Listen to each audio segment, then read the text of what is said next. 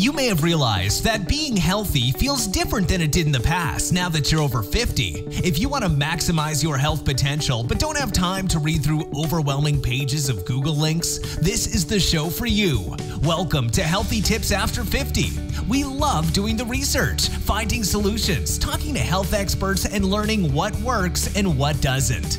Now, your host. She spent the last 25 years dedicated to feeling her best and is here to share her best findings with you. Susan Rosen.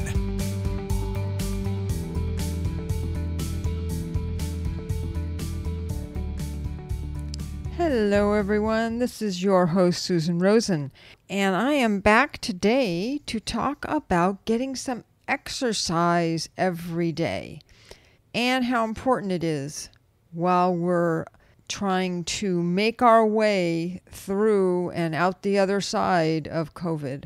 But we're not there yet. So let's talk about exercise and how good exercise is for you. And as everyone knows, it was good for you before COVID and the ongoing lockdowns. And it's still good for you for the same reasons. And that is that exercise is good for both your body and your mind. And these days, we need support in both areas, no matter your age or your degree of health. With so many of us hanging out at home, because we're working from there we're taking care of kids who are doing online learning and or we've been laid off from our jobs or some combination of all of these i'm sure there's actually probably some other things as well to throw in it's become even more important to make time in our schedules to exercise even if it's just going out for a walk personally i go for one or two walks a day and we've just bought a weight bench and some weights, which I'm just starting to use. I had been using bands and my body weight to do exercises for my shoulders and back in particular as a part of my continuing recovery from breaking my collarbone a little over a year ago. But now I want to get my whole body back in the shape I was in before the accident. And I can't go back to my gym because it's not open. Oh well, Back to the main subject here exercise, not me. Exercise can make not just the body feel and be healthier, it's also a stress reliever and it can help give you an attitude adjustment. All you really need to do is 30 minutes, three to five times a week to feel the benefits, and you will. You'll find them coming through to you very quickly. You may find you like it so much you'll want to do it more often or for longer periods of time, or both. Remember though, don't overdo it. It'll fe- feel really easy the first time you lift some weights, or maybe not, and you may add on too much weight for what you're used to. And that can derail your exercising for days or weeks while you recover. There are really a number of ways to exercise at home, and you can find one that you like and will do. That's the important part. You can find workouts online through websites or on social media like Facebook or Instagram. If you went to a gym before COVID, check to see if they're providing any kinds of online workouts and or classes. A lot of gyms are doing that to show their appreciation of their members and to keep up their relationships with them so that people will come back when they actually reopen. So take advantage of that if they are doing it. There are also many classes and workouts where you can see others in the group and feel like you aren't alone and aren't the only person learning how to do new exercises. Not to mention the fact that you still, even though it's online, you still get some of that interaction that makes us human. And so that's one of the things that all of us are really missing. So, this is another good way to get that connection, the connection that we all need to keep us going. Another kind of exercise. There are also a lot of other kinds of exercises you can learn yourself or do in a class online. Things like yoga, tai chi, ballet or dance, and Pilates. Those are just a few examples. I know there's a lot of others. There's judo and karate. It just goes on and on. The other advantage of being in a group online is that you can maintain better form and get feedback from others about how you're doing. Form is important because if you change your position by only a few inches, it could be the difference between getting stronger or getting hurt. Don't assume that because it feels like what you think it's supposed to feel like, that you're doing it correctly. If you're doing this by yourself, then get a mirror and use it to check your form at each point of the exercise. In fact, you may want to get a couple mirrors so you can see your back as well. Something else to include in your program are HIIT workouts. HIIT stands for High Intensity Interval Training. And in essence, what it means is to work out long enough and at a high enough intensity that your heart starts beating faster, you're breathing heavily, and you'll probably even be sweating.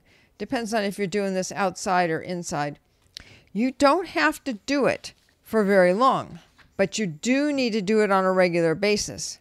It's very good, especially for your heart, lungs, and muscles. If you and your bones, don't forget about your bones. If you search for HIIT workout online, you will be able to find many, many different kinds. And I'm sure you'll see one that will work with your environment, with your lifestyle, and with what you like to do for exercise. Might be something new.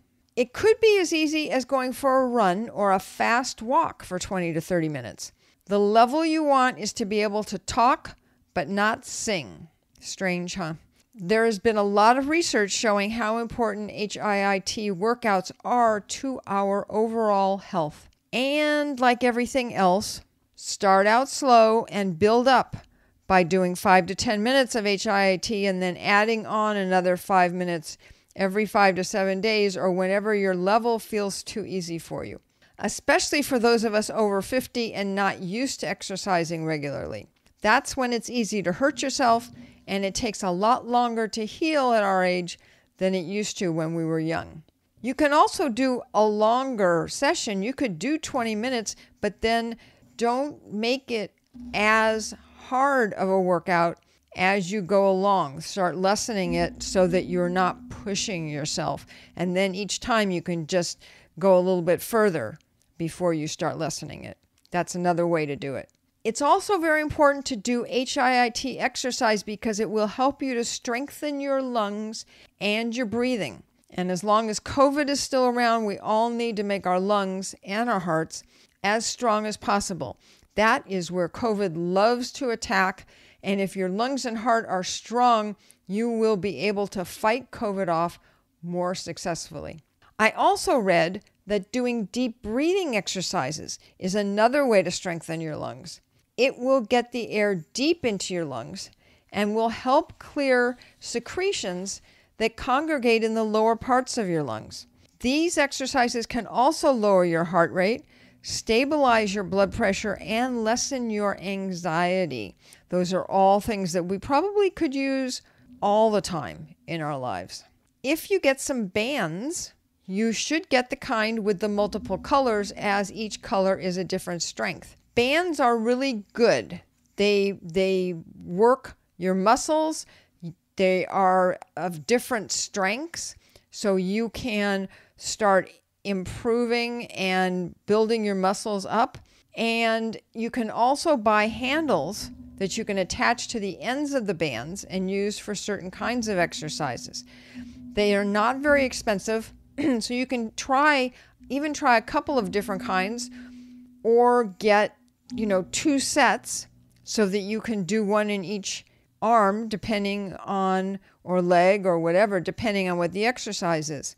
And you can also do the same thing with weights and perhaps a mat to use along with this.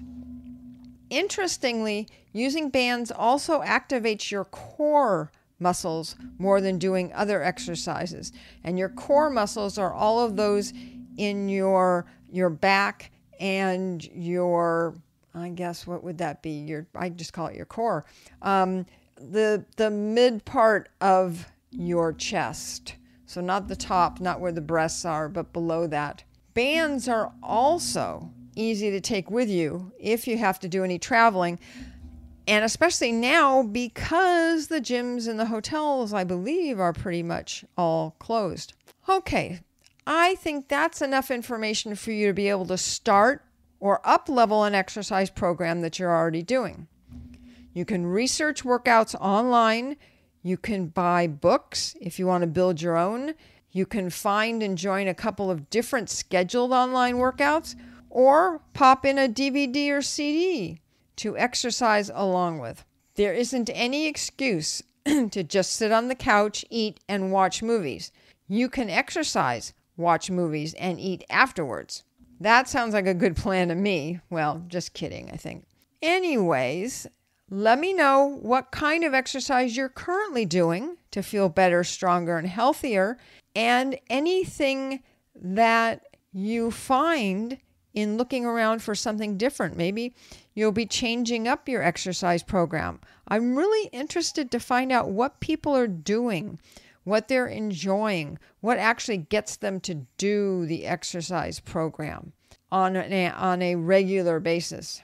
And let me know also if there's a particular person whose workouts you really love, because I would love to be able to follow that person and see what it is that they're doing. So that's it for today's podcast. Um, I hope you enjoyed it and got some information. I didn't want to get too far into the weeds on it because it really is everyone has their own choice and the kinds of exercise that they like to do. It is very personal, as I well know. So that's it for today. I will let you guys know that, or people know that I am not a doctor. This is not medical advice. If you are having any sorts of medical issues, please contact your own doctor or the emergency room. And so, with that, I will look forward to talking to all of you next time. This has been Healthy Tips After 50 with Susan Rosen. To stay on the cutting edge of the most effective health strategies, subscribe to this podcast and let us know what you thought of the show with a comment or like on iTunes. Visit healthytipsafter50.com for this episode's show notes, more resources, and free offers.